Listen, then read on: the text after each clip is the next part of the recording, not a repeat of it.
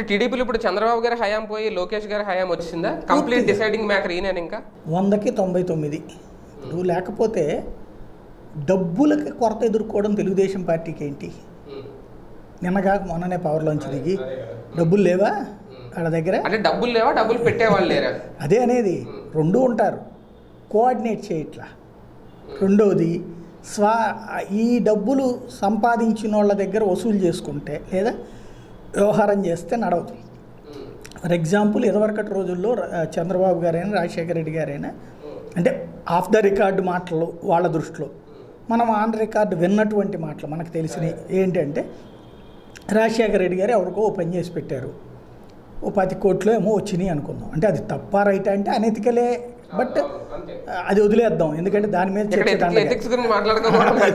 అంతే. కాబట్టి ఇక్కడ ఓ పాతి కోట్లు వచ్చినాయి. దాంట్లో అంటే అవతల వాళ్ళకి ఏదో ఒక ఐదు వందల కోట్ల ప్రాజెక్ట్ ఇచ్చారు. వాళ్ళు గిఫ్ట్లు అనుకుని ఒక పాతి కోట్లు ఇచ్చారంటే అది ఆ కేవీపీ దగ్గరికి అక్కడికో వస్తుంది. వచ్చిన తర్వాత ఏం చేస్తారు? ఓ పది కోట్లు ఇటు పంపిస్తే పదిహేను కోట్లు పంపిణీ జరిగేది. ఒక ఐదు కోట్లు పార్టీ అధిష్టానం దగ్గరికి ఓ పది కోట్లు ఒక పది మంది నాయకులు ఎవరైతే ఫైనాన్షియల్గా వీక్ అయిపోయి ఉన్నారో ఇబ్బందులు ఎదుర్కొంటున్నారు కరెక్ట్ ఇన్ఫర్మేషన్ గ్యాదర్ చేసుకుని వాళ్ళ దగ్గరికి పంపించేవాళ్ళు. అందుకే రాజశేఖర్ రెడ్డి అంటే ప్రాణం. ఆయన ఉద్దేశం ఏంటి? ఒకప్పుడు తను క్రైసిస్లో ఉండేవాడు. తను ఎవరినన్నా పరామర్శించడానికి వెళ్ళినప్పుడు లేదా ఇంకోటి చూడడానికి వెళ్ళినప్పుడు చేతిలో డబ్బులు లేకపోతే లోకల్ లీడర్ వచ్చి చేతికి ఇచ్చేళ్తే ఆ డబ్బులు ఈయన పంచి వచ్చేవాడు అలాంటిది ఫేస్ చేశాడు కాబట్టి తర్వాత తను అట్లాగా పది మందిని ఆదుకునే కార్యక్రమం ఉండేది. అది రాజశేఖర రెడ్డి దగ్గర. చంద్రబాబు దగ్గర కూడా అంతే. తను ఒక జిల్లాలో ఒక పనిని అప్పచెప్తే ఓకే ఎమ్మెల్యే క్యాండిడేట్లో వీళ్ళ దగ్గర డబ్బులు తక్కువ ఉంటాయి. వీళ్ళ ఆస్తి పది లక్షలు పాతి లక్షలు ఉంది. బట్ వీళ్ళకు యాభై పంపించండి. సో అండ్ సో నువ్వు అరేంజ్ చేయి. నువ్వు నీకు పని చేసి పెట్టాను కదా నేను? ఆ, నువ్వు నాకేమి ఇవ్వద్దు వాళ్ళకి. ఇట్లాంటిది అరేంజ్మెంట్స్ ఉండేది ఆయన దగ్గర బాబు గారు. అందుకనినే అనేక మంది విక్టిమ్స్ అయినటువంటి లీడర్లు కూడా ఆయన ఇప్పుడు ఒక కోటి రూపాయలు లాస్ అయినోడికి కోటి ఇవ్వలేడు ఈయన. ఈయనైనా ఆయనైనా.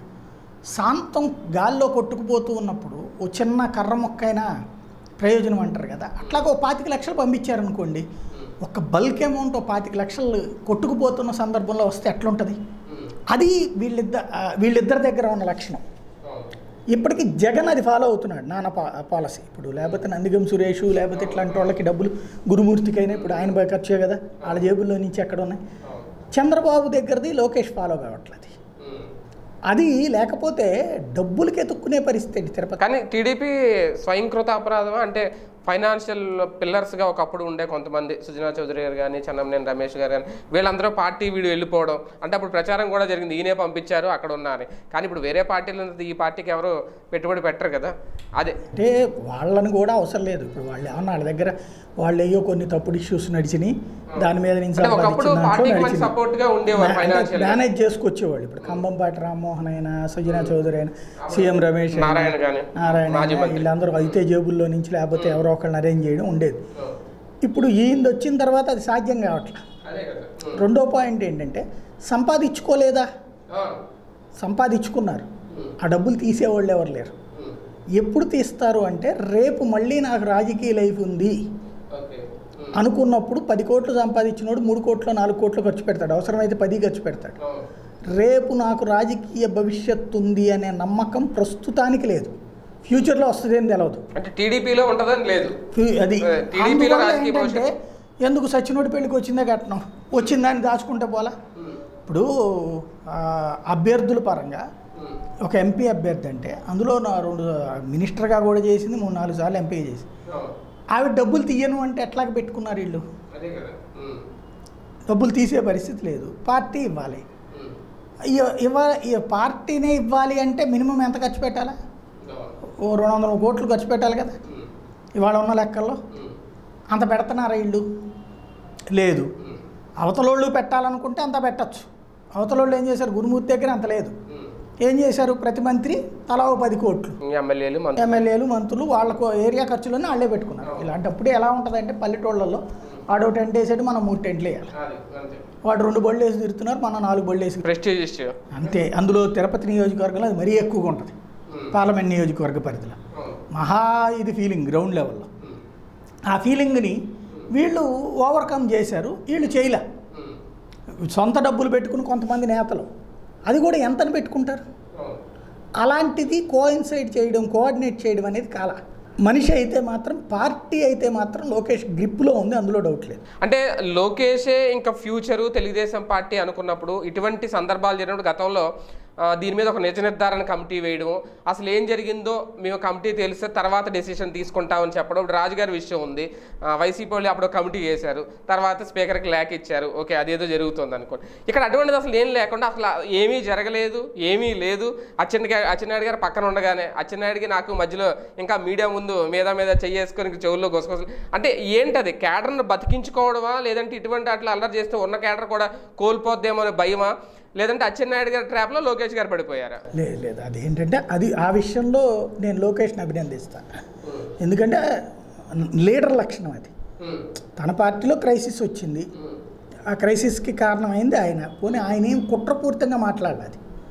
బోళా మనిషి. ఆయన ఏం మాట్లాడినా ఫెయిర్గానే అనేస్తాడు. కాకపోతే అది మంచిగా నచ్చదు అవతల వాళ్ళకి. అంతేలేండి అవును. ఇప్పుడు జేసీబీ దివాకర్ రెడ్డి. ఎంతకంటే దారుణంగా అవును మాట్లాడారు ఆయన ఇంకా డైరెక్ట్ గానే చెప్తారు స్టింగ్ ఆపరేషన్ కూడా వస్తుంది. అది. మరి అట్లాంటప్పుడు ఈయన ఏమంటాడు పాపం?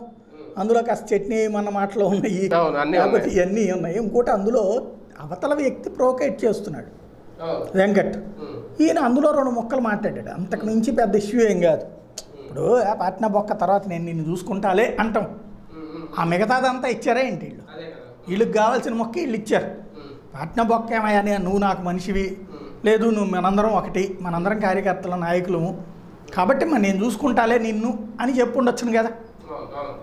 లేదా చూసుకున్నాలే పార్టీ లేదు బొక్కలేదులే నేను నీ వెనకాల ఉన్నానులే అని చెప్పడం.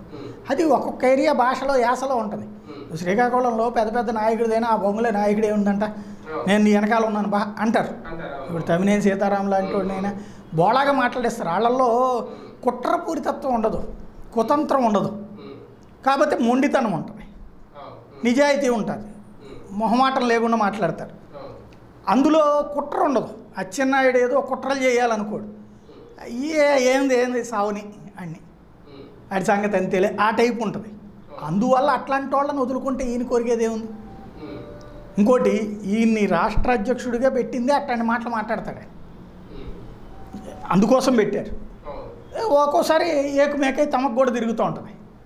అదే రహస్యంగా మాట్లాడుకున్న అంటే కానీ. ఒక అగ్రెసివ్గా సీరియస్గా పార్టీ వెళ్తున్న టైంలో ఇటువంటి వీడియోలు కాస్తంత నష్టాన్ని తెచ్చిపెట్టేవి కాదా అది? అసలు పార్టీ ఎక్కడ అగ్రెసివ్గా వెళ్తుంది? ఇది కొత్తగా పోగొట్టుకోవడానికి. బేసిక్గా అగ్రెసివ్గా వెళ్ళడం అంటే పార్టీ జిల్లాలో ప్రచారం. కనిపిస్తున్నారు కదా? తిరుపతి ప్రచారం కానివ్వండి బేసిక్గా ఎట్లుంటుందంటే అటెన్షన్ డైవర్షన్ వేరు అటెన్షన్ డైవర్షన్ క్రియేషన్ వేరు.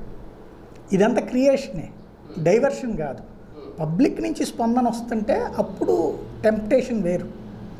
మనం బలవంతంగా రప్పించుకోవడానికి చేస్తున్న ప్రయత్నం ఇక్కడ. ఇప్పుడు ఎవరో ఇంటికి వెళ్ళి పరామర్శించి వచ్చారు ఓ వెయ్యి మంది కార్యకర్తలు వస్తారు. అది పార్టీ సంస్థాగత నిర్మాణం. ఈయన ఈ హవా కాదు కదా అది. ఇప్పుడు తిరుపతిలో ఈయన చూడడానికి ఏమైనా ఎగబడి వచ్చారా?